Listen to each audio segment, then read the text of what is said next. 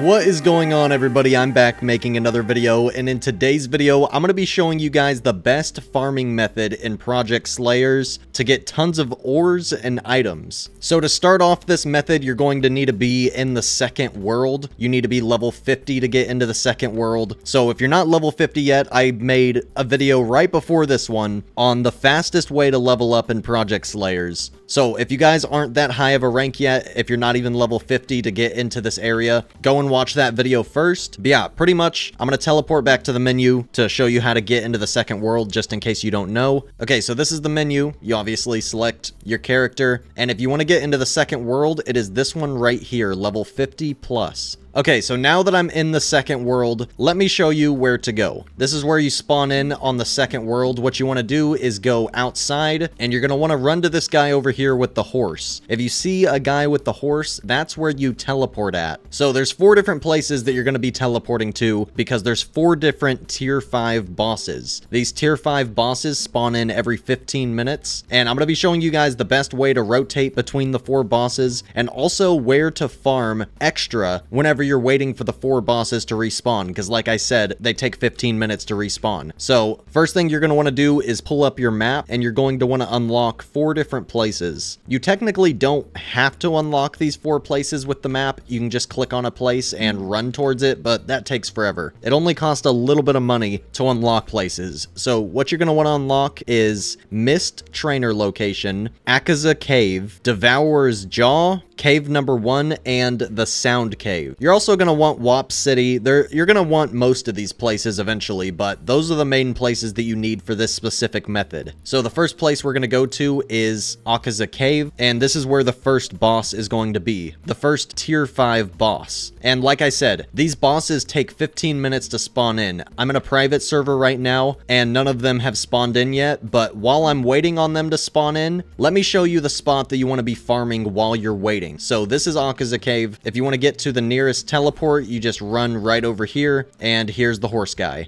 But yeah, you're going to want to go over to the Sound Cave when you're waiting on everything to respawn. So once you get to the Sound Cave, just go up this ramp, and there's going to be a Tier 3 boss at the top. And the Tier 3 bosses, they respawn really quick, so you can just come up here and you can fight this Tier 3 boss a bunch of times while you're waiting on all of the Tier 5 bosses, because every single one of them takes 15 minutes to spawn in. Okay, so I took out the tier 3 boss. I actually didn't get anything, but usually you will get some items. So this is the boss that you're going to want to grind while you're waiting on all the tier 5 bosses. You can probably kill this boss like 6 or 7 times while waiting on the tier 5 bosses to spawn in, which will obviously just give you extra XP for leveling, extra mastery, and a little bit of extra items. But you won't be getting the really good items and you won't be getting ore from the tier 3 boss. So taking out this boss a bunch of times is optional. It's just a little bit of extra items at XP and mastery instead of sitting around and just waiting 15 minutes for all the tier 5 bosses to spawn in again. So here he is again. I'm going to take him out a few more times and then I'll see you guys again in a minute so that I can show you where the real bosses are. Okay, so this time I got an item, not too bad. You can get mythic items and really good stuff out of here, just obviously not the really good stuff and ore. So whenever you're done with this guy right up here, you're just going to hop straight down and you're going to want to go over to Akaza Cave as soon as the tier 5 bosses are ready to go. Also, one thing that I forgot to mention, there's a lot of items that give extra XP, extra mastery, and also extra drop chance. So right now, I'm using a polar mask that's really good for having a lot of damage, health, stamina, stuff like that. But there's also other masks that aren't meant for being super strong. They're meant for farming, such as this mask. It has a plus 3% drop rate. So if you have items that have higher percentage drop rate and higher percentage XP and mastery, you're obviously going to want to be using those if you're trying to farm bosses for the sake of getting loot. It's way better to have a higher drop rate than a couple extra damage if the whole reason you're farming these bosses is to get drops. Alright, the tier 5 boss has spawned. This is the first of four that we're going to be taking out.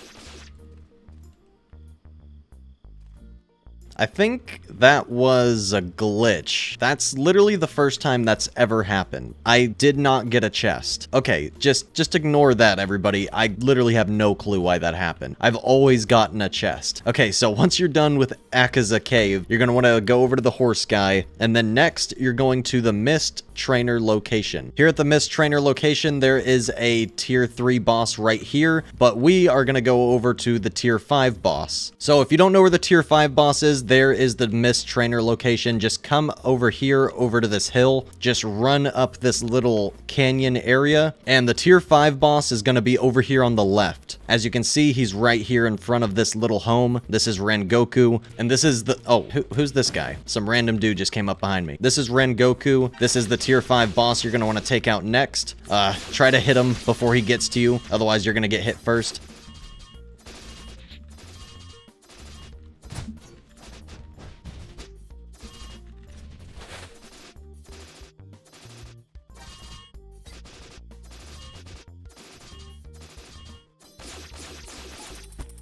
Okay, we finally got him, and it only dropped some potions, so we got a little bit unlucky that time, but it's fine. Right after you take out Rengoku, back here there's going to be another horseman, and you can just teleport straight to the next location. So next, we're going to go to Devourer's Jaw. Once you're here, you're going to want to go into this little cave area. Just keep running straight down this cave, and then right over here to the left is the third tier 5 boss. Now this guy is a little bit difficult. I mean, all the tier 5 bosses are kind of difficult, especially if you're a lower tier player. You're new to the game, you're not that high of a level. All the bosses are going to be kind of difficult, but this one's really difficult because he just does a lot of damage. And also, you can run this with friends. I've done this boss rotation with friends before, and as long as everybody's getting a pretty good percentage of damage, then you guys should all get the chest with the same chances of loot. Okay, yeah, right now I'm kind of just getting hit a bunch of times from this boss, but it's fine because I have a lot of health regen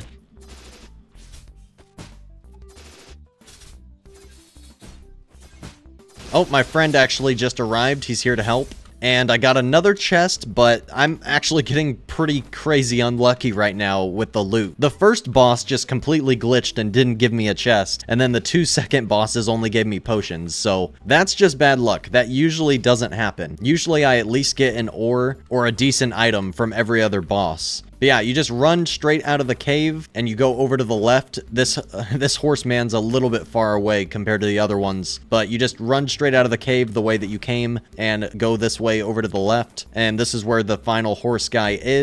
And then the final place you're going to want to go is back to the sound cave. The sound cave is the same place I said to farm the tier 3 boss, but instead of going up in the sound cave, you're going to want to leave the sound cave and go over to the right. And this is where the fourth tier 5 boss is, right over here.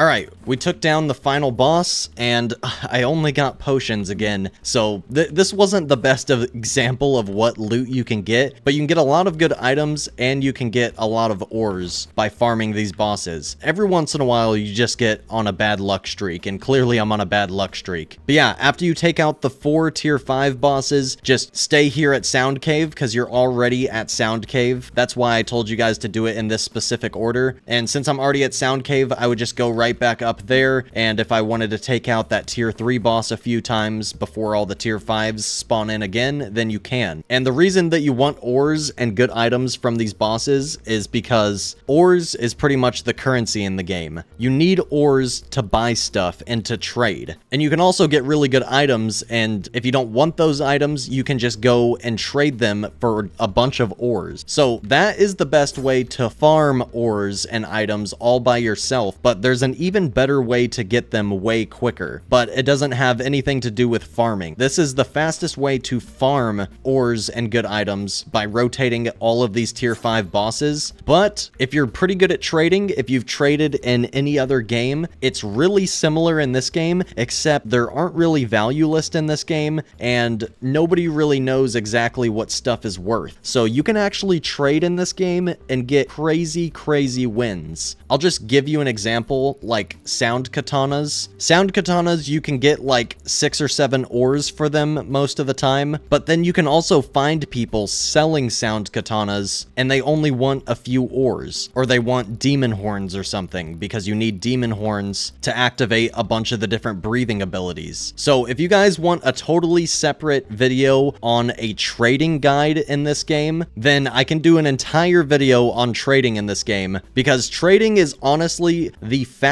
way to get really good items and to get a ton of ores and get really rich quickly. But obviously you can't trade until you get anything good first. So that's what this video is for. This is how you get a bunch of ores and good items to start trading is by running through all these bosses. But before you can run through all these bosses, you have to rank up a little bit first because you need to be rank 50 just to get into this world and to take out these bosses. And then also you need to be rank 100 to trade most items and to trade the really good items, you need to be rank 150. So before any trading, you need to be ranking up a ton and grinding bosses a ton. So that's what this video and the video before this one is for. My very first video on the game was right before this one and it was a max level farm, the quickest way to rank up. So first things first, you're going to want to get a really high rank. Second thing, you're going to want to start getting a bunch of good items and ores. And then third thing, once you are a high rank and you have some items and ores, then you can start trading. So that's kind of why I'm making these videos in this order. So if you guys want me to drop a third Project Slayers video after this one, where I go through trading and really teach you guys how to trade and make a ton of profit, then I can. And also just comment down below what other videos you guys want me to make on this game. Because if you guys have been watching my channel, which most people watching